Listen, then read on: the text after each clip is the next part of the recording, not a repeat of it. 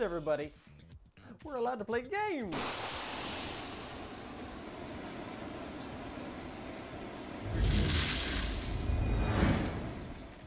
Some good news. According to the Journal of Pediatrics, the official journal of the American Academy of Pediatrics, video games aren't so bad for you. They actually have a few benefits.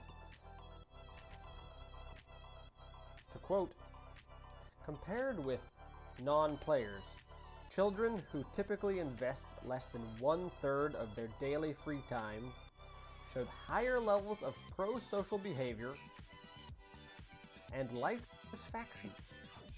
Sounds pretty good to me. And lower levels of conduct problems, hyperactivity, peer problems, and emotional symptoms. Apparently, they present opportunities for identity development, as well as cognitive and social challenges. I think we all...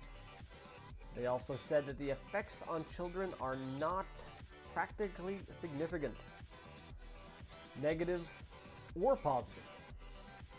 Playing games apparently just doesn't impact kids all that much at all.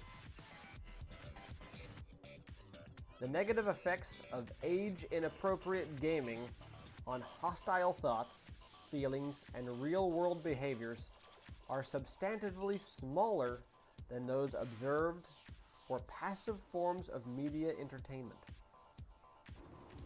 Bottom line, Game on.